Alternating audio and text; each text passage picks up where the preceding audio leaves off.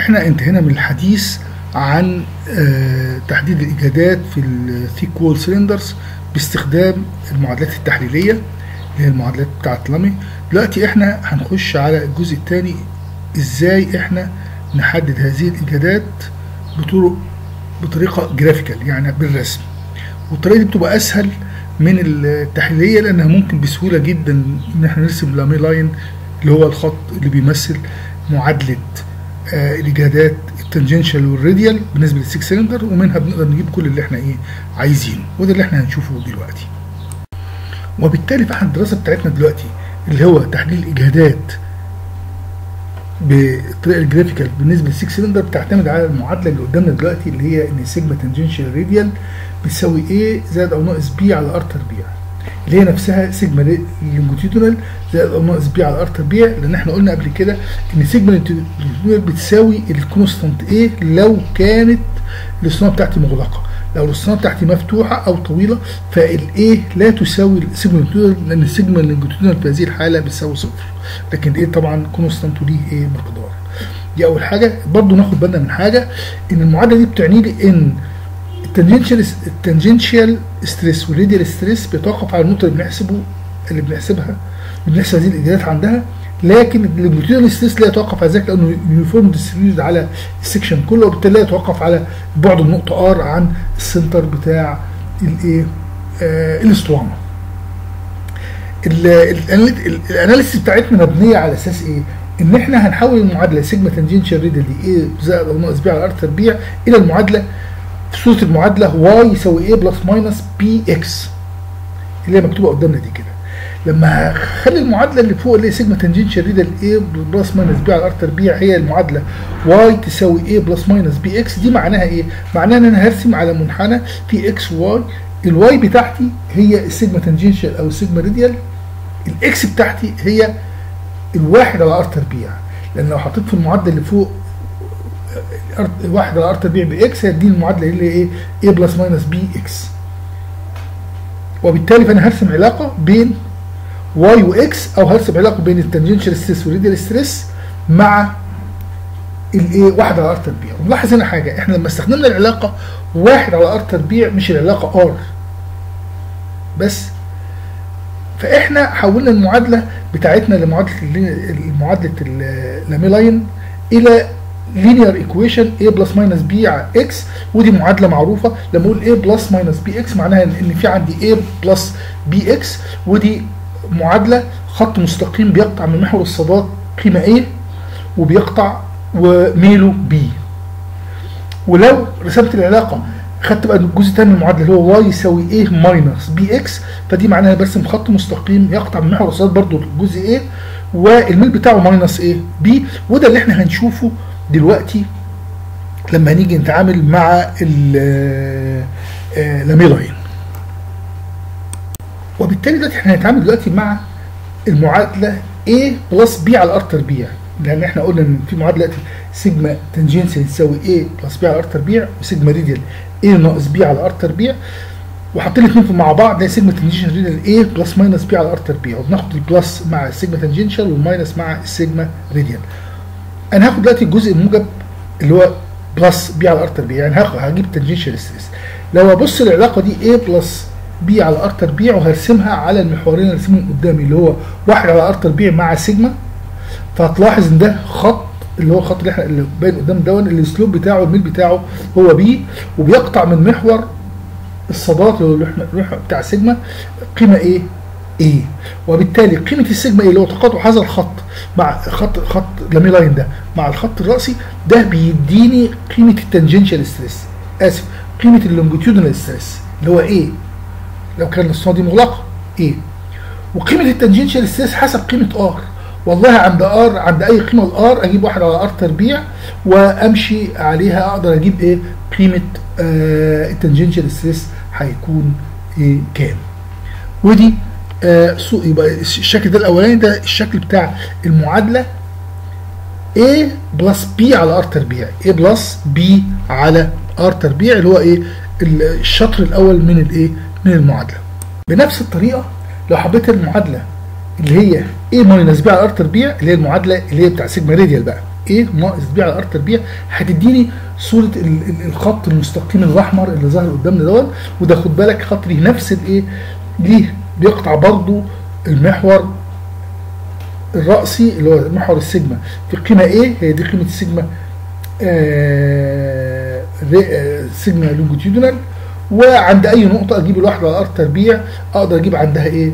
على الخط دوت أقدر أجيب آه قيمة ال sigma radial إذا الخطين دول الخط الأحمر بيمثل لي ال- ال- ال radial stress والخط ال- الأولاني الأسود ده بيمثل لي ال tangential stress والاثنين ليهم slope واحد b والتاني ناقص b والاثنين بيقطعوا محور الرأسي في قيمة A؟ sigma longitudinal اللي تساوي إيه؟ قيمة A؟ طبعا دي لو كانت الأسطوانة لو كانت الأسطوانة بتاعتي مغلقة. لكن لو مفتوحة هيبقى ده ال- ال- الجزء المقطوع من محور الصادات ده ده هو قيمة الثابت A في المعادلة ولكنه لا يعني إن هو يساوي sigma longitudinal لأن في هذه الحالة sigma longitudinal بتساوي صفر. والنقطة دي مهمة لأن البعض بيتخيل إن إيه طالما إن الأسطوانة مفتوحة ف sigma longitudinal بتساوي صفر معناها إن ال constant A بيساوي صفر. زي ما إحنا قلنا إن ال sigma longitudinal بتساوي ال constant لا الكلام ده مش مظبوط. ال sigma longitudinal بتساوي صفر في حالة واحدة فقط لو كانت الأسطوانة بتاعتي مفتوحة. لكن في هذه الحالة لا تساوي A لكن لو الأسطوانة مغلقة فبيتولد ال longitudinal stress قيمته قيمة ال constant A ودي مهمة قوي النقطة دي إن إحنا بس إيه بنركز عليها. دلوقتي بقى هن- هنحدد دلوقتي إزاي أقدر أحدد آه، أرسم Lame line دوت لمجموعة من الأسطوانات. هناخد أول حالة اللي هي أبسط حالة اللي إحنا درسناها قبل كده بس بالمعادلات ال analytical اللي هي الحالة بتاعت أسطوانة سميكه الجدران thick cylinder. آه، الأسطوانة دي بتعرض معرضة ل internal pressure قيمته P internal و آه، من و external pressure بيساوي صفر يعني معلش external pressure هذه الأسطوانة لازم نلاحظ نلاحظ حاجة إن أنا عشان أرسم الخط اللي هو الخط المستقيم اللي هو اللي هو بتاع Lame line دوت فلازم أعرف حاجتين لازم أحدد نقطتين لأن أي خط مستقيم مسؤول بنقطتين النقطتين دول لازم نقطتين معروفين بالنسبة عندي. أول نقطة معلومة اللي هي إيه؟ اللي هي السطح الخارجي للأسطوانة اللي هو عند r بتساوي r outer لأن ده عنده ال radial stress بكام؟ بصفر. فيبقى في عندي sigma radial inner outer دي بتساوي إيه؟ صفر. sigma radial إيه؟ outer بتساوي صفر. اللي هي عند r بتساوي r outer طيب والسطح الداخلي اللي هو عند r بتساوي r inner فأنا عندي إن ال sigma tan... sigma radial inner بتساوي minus P inner. يبقى دول القيم دول النقطتين اللي هم حددناهم في الآخر اللي هو عند ناقص واحد على r inner تربيع. دي لو كانت هي دي قيمة ال x فال y بتاعتها minus P inner. وواحد على r outer تربيع معاها صفر. عند واحد على outer تربيع هيبقى قيمة ال coordinate ال y بتاعها بيساوي صفر. النقطتين دول أنا ممكن بيهم أرسم إيه الخط آه الخط المستقيم بتاع ال Lame line لاسطوانة عليها internal pressure يبقى اذا أنا عشان كقاعدة عشان أرسم Lame line فلازم يكون عندي محدد لازم يبقى عندي نقطتين. ده خط مستقيم عايز أرسمه. لازم يبقى في معلومة عندي نقطتين. النقطتين دول بجيبهم من إيه؟ من ال radial stress inner و outer فال sigma دي الاسطوانه عليها internal pressure فيبقى من من الداخل ال internal pressure ده بيساوي ال radial stress عند على ال inner surface وبيكون بره بيساوي صفر. نفس الكلام هنشوفه بعد كده لما نيجي نتكلم على اسطوانه عليها outer stress بس فهيبقى إيه؟ على السطح الخارجي في sigma radial بيساوي sigma P outer بال minus والسطح الداخلي بيساوي صفر. لكن إحنا خلينا دلوقتي في الحالة بتاعة ال internal pressure الاسطوانه عليها internal pressure فدي هيبقى ال sigma radial بتاعها بيساوي صفر في الخارج عند R بتساوي R outer وال sigma radial بتاعتها بتساوي minus P inner عند R بتساوي R inner وده بيحددوا بالنقطتين اللي هم باين باين الإحداثيات بتاعتهم في اللوحة من تحت من أسفل خالص. وبالتالي قبل ما نوقع النقطتين اللي هو بيمثلوا Lamé line لاسطوانه عليها internal pressure لازم في الأول بس نوضح حاجة نبص كده للرسم اللي قدامنا ديت ده عبارة عن محورين محور X واحد على R تربيع مع محور Y اللي هو سيجما عايز أوقع عليهم واحد على R inner تربيع وواحد على outer تربيع بالزائد وبالناقص ليه؟ لأن واحد على inner تربيع وواحد على outer تربيع دول بيمثلوا لي اللي هو إيه؟ تخانة الأسطوانة المسافة بينهم بين واحد على R inner وواحد على R outer بيمثلوا لي تخانة الأسطوانة على المح... على المحور واحد على R تربيع هلاحظ حاجة إن أنا لو ابتديت من عندي ال origin وهوقع واحد على R outer تربيع هلاقي إن واحد على outer تربيع قيمته ك ك ك ك numerical value أقل من واحد على R inner تربيع. لأن ال R outer أكبر من ال R inner يبقى واحد على R outer تربيع أقل من واحد على inner تربيع. عشان كده عندي ال origin دي ال origin دي معناها إن أنا بتح- بتحرك منها بوصل الأول للاسطوانة من الخارج اللي هو واحد على أوتر تربيع.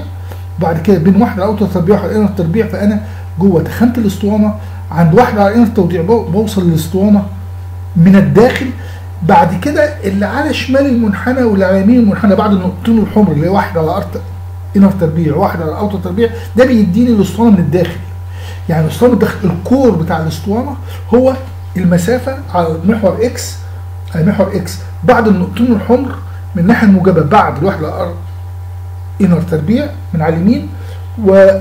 و... وبعد النقطة الحمراء واحدة على outer تربيع بالناقص اللي هي إيه من ناحية الشمال اللي هو إيه المسافة دي كلها. لكن المنطقة اللي في الوسط بين واحدة على outer تربيع وواحده على outer تربيع بالناقص اللي بيبقى فيهم ال origin دي بت... بت... دي بتعني لي الايه الفراغ اللي حول الاسطوانه هي لازم بس الواحد يتخيل دي لأن إيه الواحد على outer تربيع عكس لي الايه ال- ال- ال- الشكل اللي إحنا متخيلينه في ذهننا اللي هو الشكل إيه الاصفر وبالتالي ال origin وما الخط بتاع الخط الأفقي من عند الاورجن لغاية واحد على ال outer واحد على ال outer تربيعات واحد على ال outer تربيع بالزائد وبالناقص ده بيديني الأسطوانة من الخارج.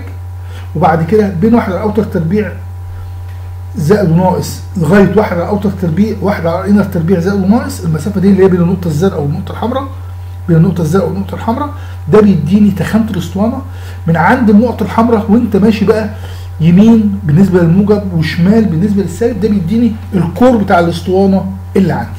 وبالتالي لازم أبقى إيه أحدد في الأول النقط واحد على outer تربيع واحد على inner تربيع دي معلومة عندي. أنا عندي الأسطوانة معروف ال R inner بتاعتها وال R outer بتاعتها. ما دي المعلومات عندي. اسطوانه قطرها R inner وقطرها الخارجي R outer وعليها pressure P R دي دي المعلومات اللي عندي. فلازم أحدد في الأول النقط الإيه الزرقاء والحمراء اللي إحنا إيه رسمينها اللي إحنا شايفينها إيه قدامنا لأن دي اللي إحنا عليها نستخدمها آه في رسم Lamé line. دلوقتي أبتدي أوقع النقطتين اللي عندي اللي هم إيه؟ إن هم إن إن ال Y بتساوي صفر عند R تساوي R عند R بتساوي R outer على ال outer surface لأن دي عليها internal pressure يبقى عند عند ناقص واحد على outer تربيع أحط إيه؟ صفر. هيديني النقطة الزرقاء اللي على الشمال. دي نقطة على على المنحنى على على على, على ال Lamé line اللي أنا هرسمه لسه اللي هو اللي هو بعد كده يطلع بالخط الأحمر دوت. طيب والنقطة الثانية اللي هي إيه؟ اللي هي عند واحد على inner تربيع ال- آه، ال P inner بايه بتساوي ال- ال sigma radial بتساوي P inner بالسالب.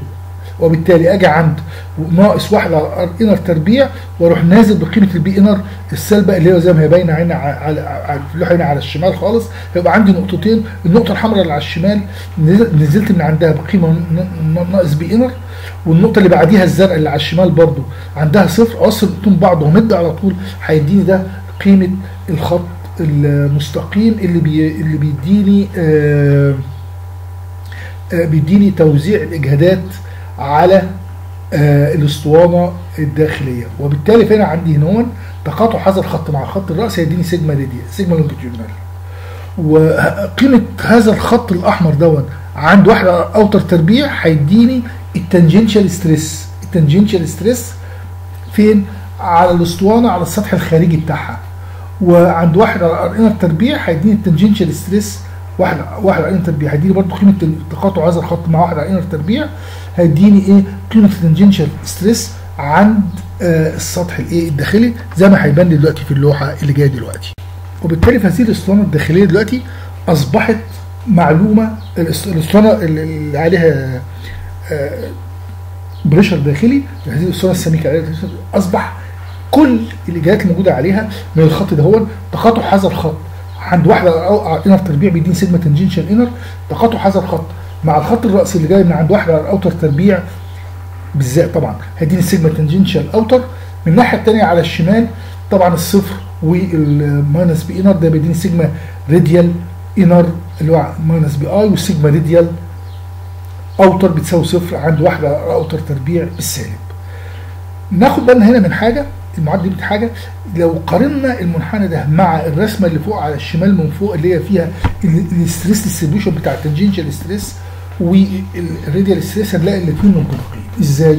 يعني مثلا على على الرسمة اللي من فوق على اليمين من فوق هلاقي إن ال tangential stress على ال inner surface أكبر من ال tangential stress على ال outer surface وده برضو واضح إن هو على الشكل إيه؟ على ال Lamé line sigma tangential inner اللي هو على الشمال خالص اللي هو الخط الرأسي عند النقطة الحمراء اللي على الشمال في المنحنى. آه، ده أكبر من ال sigma tangential outer اللي هي الخط الرأسي اللي عند اللي عند النقطة السوداء من على ناحية الإيه؟ آه، اليمين. و sigma tangential inner من ناحية اليمين إيه؟ اللي هي الخط الرأسي. كويس؟ قيمة ال sigma tangential inner أكبر من قيمة ال sigma tangential إيه outer؟ وتقاطع هذا الخط مع الخط الرأسي يعني عند واحد على inner بيساوي صفر هيديني ال longitudinal إيه stress اللي هي قيمة الإيه constant A.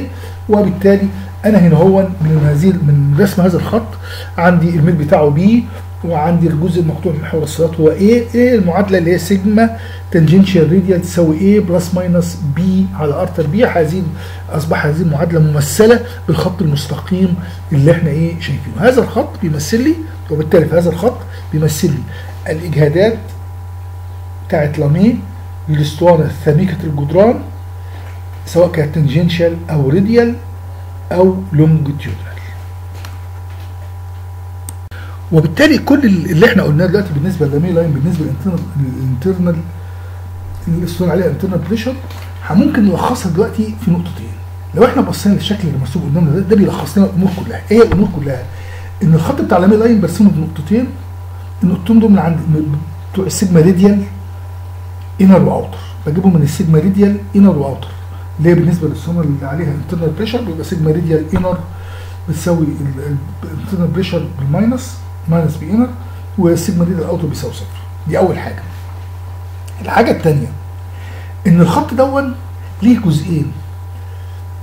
الجزء اللي موجود في المربع الأول اللي هو الخط بالأخضر ده ده بيديني تغير ال tangential stress تغير ال tangential stress بين sigma tangential inner لغاية sigma tangential إيه outer وتقاطع الخط مع الخط الرأسي بيديني ال sigma longitudinal والجزء الأحمر بيمثل لي ال radial stress.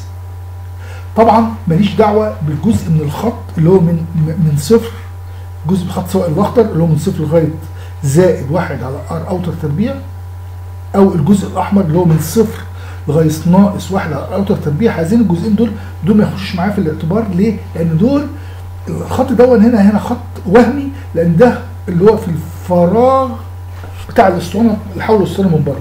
فده إحنا إيه مالناش إيه أي علاقة بيه ما بنستخدموش رياضيا ملوش إيه عندي معنى. لكن الخط بتاعي بستخدمه بين واحد على r inner وواحد على outer تربيع سواء بالموجب أو بالسالب. هي دي المواقف اللي أنا بستخدم فيها إيه آه هذا الخط. وبالتالي الربع الأول الأخضر ده بيديني ال tangential stress أو ال hoop stress والربع الثاني والثالث الثاني والثالث بيديني قيمة ال radial stress وبالتالي الخط الأحمر ده بيمثل لي علاقة sigma radial تساوي A ناقص B على r تربيع اللي إحنا قلناها قبل كده. والخط الأخضر بيمثل لي sigma radial تساوي A plus B على r تربيع. وده ملخص كل آه Lamé line بالنسبة للاسطوانه عليها internal pressure نفس الكلام ده كله هنكرره بالنسبة للاسطوانات الأخرى لو الاسطوانه عليها external pressure أو عليها internal و external pressures يضاف للي إحنا قلناه قبل كده كمان إن المعادلة اللي قدامنا دي الخط اللي قدامنا ده بيوضح لي إيه؟ ان إن كلا الخط الأخضر والخط الأحمر ليهم نفس ال slope B بالك بس واحد بالسالب واحد بالناقص واحد بالسالب اللي هو من من واحد على outer تربيع بالناقص ده. وانت ماشي على إيدنا الشمال وواحد بالموجب اللي هو في الناحية من على اليمين. الناحية اللي على اليمين اللي هو الجزء الموجب يعني. كويس؟ دي أول حاجة. الحاجة الثانية حاجة طبعا دي ثالث حاجة يعني. والحاجة الأخيرة طبعا اللي إحنا قلناها قبل كده إن ال inter ال intersection أو التقاطع بين هذا الخط مع الخط الرأسي يعني عند عند عند ال zero عند واحد على r inner على واحد على R تربيع بتساوي صفر عند واحد على R تربيع بتساوي صفر عندها دي بيديني إيه؟ ال longitudinal stress أو السيجما إيه longitudinal اللي هو ال constant إيه دلوقتي هنتكلم على إزاي نعمل نرسم Lame line لأسطوانة عليها external pressure الرسمة الأول نشوف كده الرسمة اللي هي الرسمة اللي بتمثل ال cross section بتاع الأسطوانة اللي هي على ايدنا اليمين. هنلاحظ ان التخانة الصفراء دي هي تخانه الأسطوانة والقطر الداخلي بتاعها R inner والقطر الخارجي بتاعها R outer والأسطوانة عليها external pressure فلو الأسطوانة عليها external pressure هتلاقي إن توزيع ال sigma tangential هتلاقيها بالسالب زي ما هي موجودة في الرسمة في ال cross section بس على إيدنا اليمين اللي تحت الخط خط الصفر. نفس الكلام بالنسبة لل radial stress هتلاقيه برضو سالب وقيمته صفر. عند R بتساوي R inner وقيمته maximum اللي هو بتساوي ناقص P outer عند R بتساوي إيه؟ R outer هذا الكلام لابد إن إحنا نرسم ال Lame line يحقق لي هذا الإيه؟ هذه المعلومات. إيه هي المعلومات دي؟ إن في عندي sigma tangential و sigma radial وإن sigma tangential و sigma radial الاثنين إيه؟ سوالب. سوالب. وده اللي إحنا هنشوفه دلوقتي. وبالتالي هنرجع نقرر نكرر اللي إحنا عملناه قبل كده بالنسبة لما كنا بنرسم Lame line الاسطوانه عليها internal pressure هنرسم دلوقتي اللي هي إيه؟ إن أنا هستخدم المعدل بتاع ال sigma radial تساوي إيه؟ ناقص B على R تربيع واقول إن ال sigma radial بتساوي صفر لما ال R بتساوي R inner عند R بتساوي R inner هيديني إيه؟ آه عند R بتساوي R inner هيديني إن سيجما آه radial بتساوي صفر لأن الاسطوانه من الداخل معلهاش internal معلهاش ضغط داخلي عليها خط ضغط خارجي اللي هو الضغط الخارجي اللي هو minus P outer عن اللي هو هيبقى sigma radial لما يكون الأسطوانة عند النقطة بتاع على, على السطح الخارجي بتاعها عند R بتساوي إيه؟ R outer وبالتالي عندي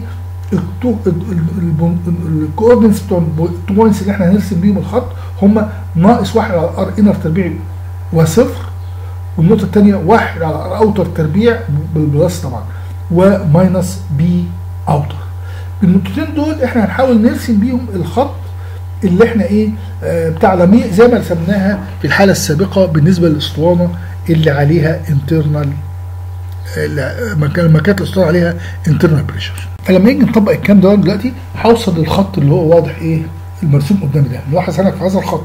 أنا رسمته بنقطتين اللي هم النقطتين اللي هم من على الشمال خالص. أول نقطة اللي هي عند ناقص واحد على R inner تربيع كانت كان ال radial stress بيساوي صفر. وعند ناقص واحد ناقص واحد على outer تربيع ال radial stress كان بإيه؟ بناقص P outer. فالنقطتين دول لما وصلتهم ومد على طول هينزل الخط لتحت كده زي الخط اللي واضح إيه؟ زي اللي مرسوم خط ده مرسوم إيه؟ قدامنا. وهنا نلاحظ حاجة.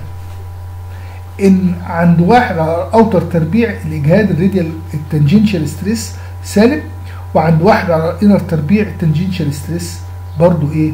ال tangential stress برضو إيه؟ سالب. يعني إيه؟ يعني هنا قيم ال tangential stress الاثنين قيمهم سالبه لانها موجودة على الشمال. اللي على اليمين. وبالتالي في النتائج اللي هنتحصل عليها بالنسبة للاسطوانة اللي عليها external pressure هي اللي واضحة عندنا ناخدها كده من من أقصى اليمين لأقصى اليسار. إن أول حاجة عند عند واحد على ال inner تربيع النقطة الحمراء اللي على ايدنا اليمين قيمة ال tangential stress sigma tangential inner أكبر من قيمة ال tangential stress على سطح ال outer اللي عند واحد على outer تربيع. وده الوضع الخط ده بيوضحها لنا. وعند عند عند R بتساوي صفر يعني عند تقاطع المحور الرأسي مع المحور الأفقي عند نقطة ال origin ده بيديني ال sigma longitudinal زي ما واضحة قدامنا. واللي على الشمال دول بيدوني ال- ال radial stress سواء عند السطح الداخلي اللي هو بيساوي صفر أو عند السطح الخارجي اللي هو بيساوي ناقص P outer دي أول حاجة. الحاجة اللي ناخد بالنا منها مهمة جدا جدا جدا هي إيه؟ هي إن أنا لو بصيت للمنح- للمنحنى ده بنظره رياضية بقى نظرة رياضية للخط دوت. نظرة رياضية هلاقي إيه؟ هلاقي إن المحور الرأسي المحور بتاع السيجما الرأسي اللي هو المحور واي يعني بيقسم لي المنحنى ده إلى جزئين جزء على اليمين اللي هو وجزء على الشمال. الجزء اللي على اليمين اللي هو اللي هو الربع الأول والربع الرابع. والجزء على الشمال الجزء الثاني والجزء الثالث نلاحظ إن الجزء اللي على اليمين اللي هو الربع الأول والربع الرابع ده بيديني tangential stress دائما. والجزء اللي على الشمال اللي هو المربع الربع الثاني والربع الثالث ده بيديني دايما إيه؟ ال radial آه stress وبالتالي دي تلخص لي الأمور خالص وعشان كده إيه تلاقي ال Lame line الأسطوانة اللي عليها internal pressure كان ال tangential stress بيبقى موجب عشان كده كان بيطلع ال tangential stress في الربع الأولاني. الخط كان بيجي في الربع الاولاني اللي إحنا رسمناه قبل كده. وفي الحالة بتاعتنا الحالية آه لما يكون الأسطوانة عليها external pressure فقيمة ال tangential stress سالب عشان كده بيطلع في الربع الإيه؟ ال- الرابع. ودي إيه؟ ملاحظة إيه؟ لابد ناخد منها بتلخص لنا إيه أمور كثيرة من الحاجات اللي إحنا إيه اتكلمنا عنها. دلوقتي إحنا بنلخص كل اللي قلناه قبل كده. في مجموعة من النقاط. إيه اللي إحنا قلناه؟ إحنا قلنا أول حاجة إن لامي line عبارة عن علاقة رياضية من الدرجة الأولى اللي هي ممكن في الرياضة إحنا كنا بنقول y يساوي a x plus b مثلا. آه هذه العلاقة خط مستقيم محوره الرأسي بيديني الإجهادات المحور الرأسي اللي هو محور الصادات اللي هو ال y axis بيديني إجهادات سواء كانت tangential المتولدة سواء كانت tangential stress أو radial stress. والمحور الأفقي بيديني واحد على r تربيع أو بنرسمه مع واحد على r تربيع. إيه واحد على r تربيع؟ واحد على r تربيع اللي هو واحد على مربع بعد النقطة اللي بنحسب عندها الإجهادات عن محور الأسطوانة. دي أول حاجة. حاجة حاجة كمان. اللامي line إحنا ممكن نرسمه ب scale وبالتالي في هذه الحالة فإحنا يمكن مباشرة إن إحنا من الخط ده بعد ما نرسمه ب scale إن إحنا نجيب آه، قيم الاجهادات المتولدة لأي أسطوانة سواء كان عليها internal pressure أو عليها external pressure أو كان عليها internal و external pressures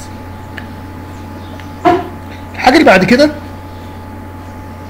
مثلا هنا هو مثلا قدامنا مكتوب عليها نقطة من اثنين إن تقاطع لامي line مع الخط الرأسي يعني تقاطع لامي line اللي هو ال straight line لامي line مع الخط الرأسي اللي هو محور الصادات أو ال y axis يعني ده بيعطي بيعطيني قيمة ال longitudinal stress المتولدة أو يعطيني قيمة ال constant a في المعادلة العامة اللي هي sigma tangential radial يساوي a plus minus b على r تربيع.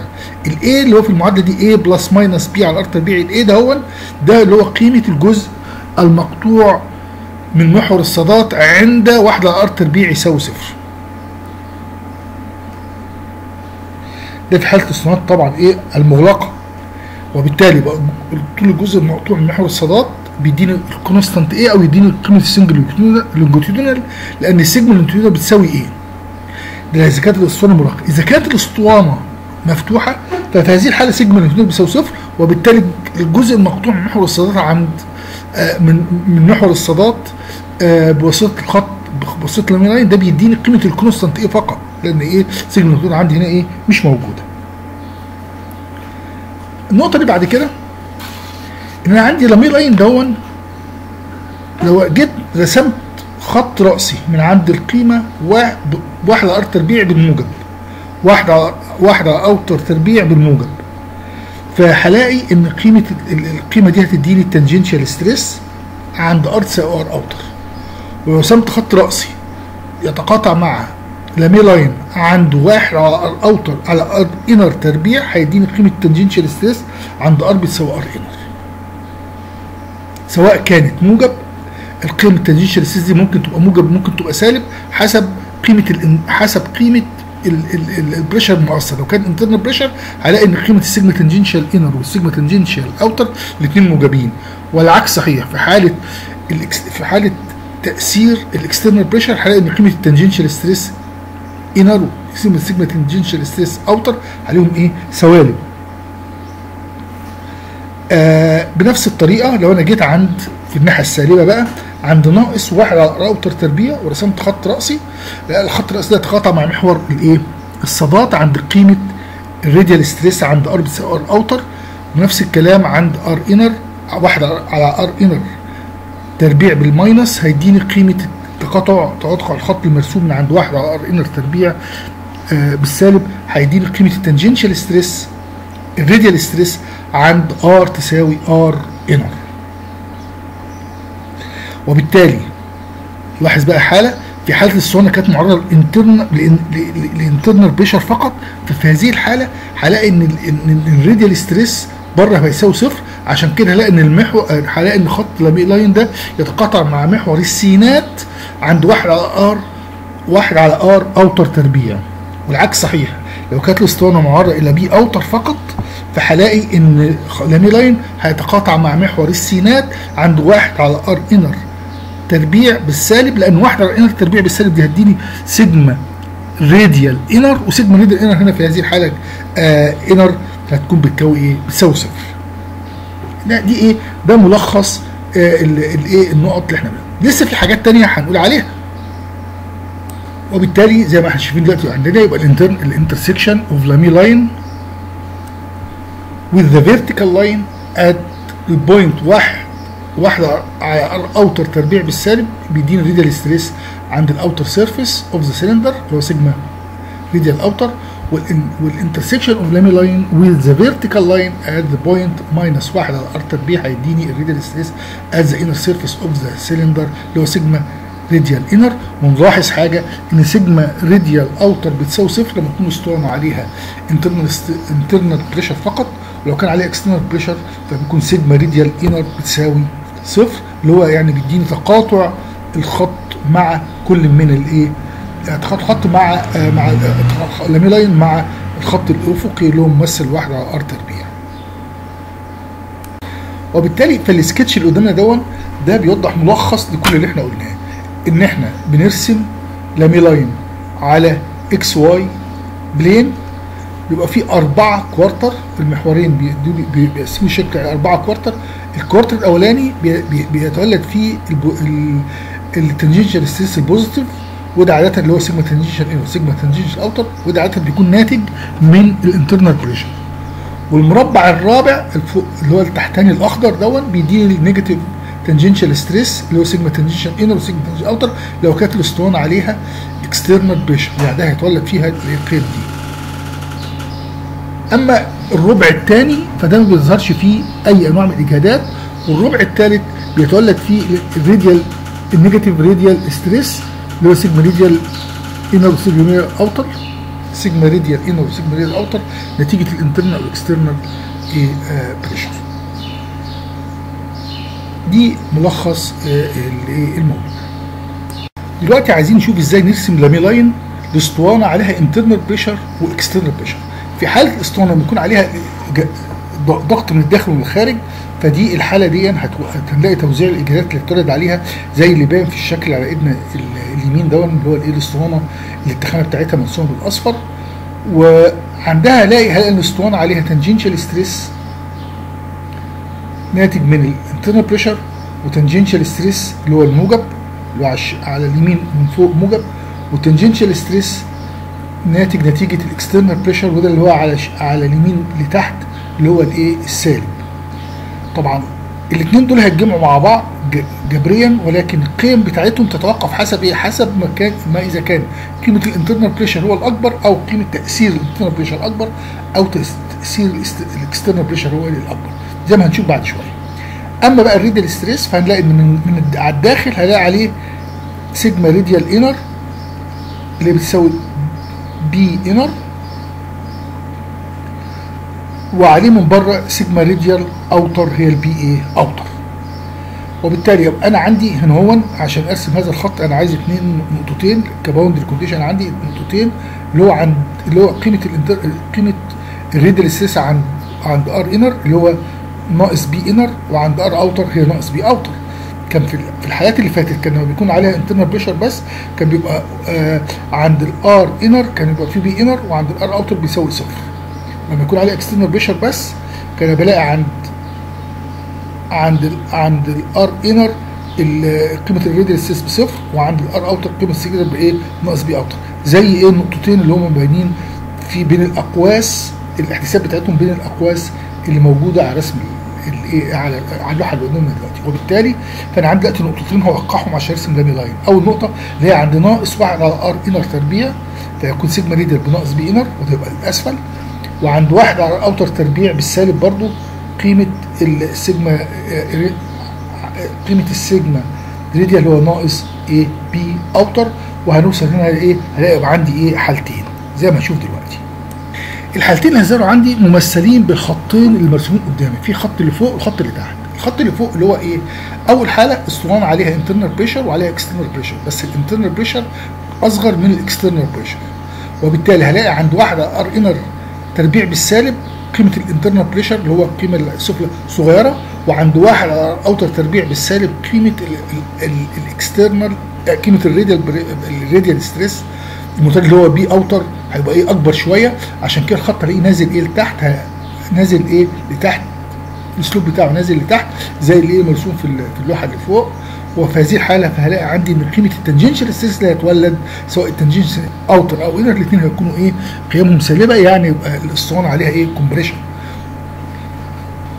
دي أول حاجة حاله الحالة الثانية لو كان العكس بقى لو كان ال internal pressure أكبر من ال external pressure فهلاقي عند واحد على inner تربيع قيمة ال radial stress inner اللي هو ناقص P i وده أكبر من قيمه ال radial stress عند واحد outer تربيع اللي هو إيه؟ آه اللي هو هيدي ال radial stress ناقص P outer ال radial stress outer وبالتالي فالخط لا ال slope بتاعه طالع لأعلى وفي هذه الحالة ال resultant tangential stress هنا هيكون إيه؟ هيكون قيمه إيه؟ موجبة. دول الحالتين اللي إحنا ممكن إيه؟ نحصل إيه؟ عليهم. في حالة أخرى ودي حالة خاصة هنشوفها برضو إيه؟ دلوقتي. الحالة الخاصة اللي هنتكلم عنها اللي هي زي ما بقول لما بيكون عندي ال internal pressure اسطوانة عليها internal pressure و external pressure والاثنين متساويين ودي توضح لي بقى كل إيه طريقة الرسم. ففي هذه الحالة هبص ألاقي إن الخط إن, عندي ال radial stress inner و outer هتلاقيهم متساويين كله بيساوي ناقص P inner أو اللي هو نفسه نفسه هو نفسه بيساوي ناقص P outer وبالتالي الخط هيطلع لي خط مستقيم آه زي اللي مرسوم قدامنا يوازي محور السينات زي اللي واضح قدامنا. وبكده يبقى إحنا انتهينا من رسم الاسطوانة graphically أو حساب الاسطوانات السميكة لس- حساب الإجهادات المتولده على اسطوانه السميكة بالطرق الإيه؟ طريقة الرسم.